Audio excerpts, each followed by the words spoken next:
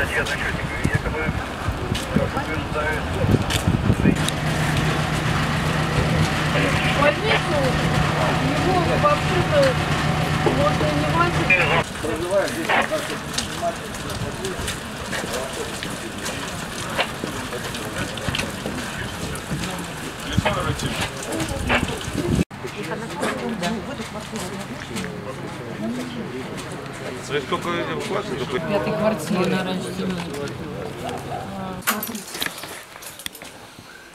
Все вот это текло, ручьем лило. Вот все плесень вон там. А это льет, он ручьем льет этот угол. Это так давно уже вообще происходит-то все? Это, ну, лет пять уже точно. То есть вот таких, с такой сыростью вы пять лет да, живете, мы пять да? лет живем, мне никто даже ничего не помогает, потому что я вызывала управляющую, управляющая приезжала, наверное, когда ко мне, или в октябре, или в ноябре перед отоплением.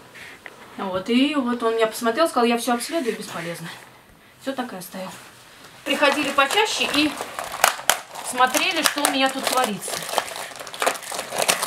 Вот там все вот такое вот. То есть это, это уже плесень такая, Это да? плесень там, все зеленое и черное.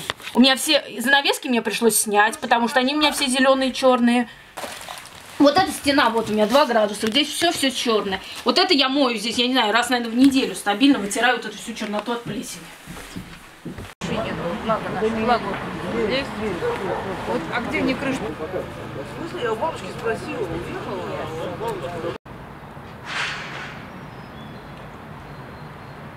Нет, по данному дому обращений э, за последнее время и вообще никаких не было. Поэтому э, то, что случилось, для нас явилось полной неожиданностью. Управляющая компания что говорит? Управляющая компания, компания также подтверждает, что обращений жильцов никаких не было, и то, что мы сейчас видим, это не что иное, как форс-мажор. Ну, собственно, сейчас что происходит? Ситуация... Ну, в данный момент э, обошли все квартиры, э, эвакуировали население и э, предоставили автобус, чтобы хотя бы э, было, была возможность в тепле подождать уже до дальнейшего принятия решения.